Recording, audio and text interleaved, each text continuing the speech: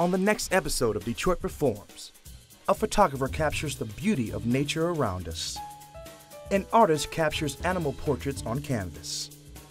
And watch an artist enhance reality by making monoprints with modern touches.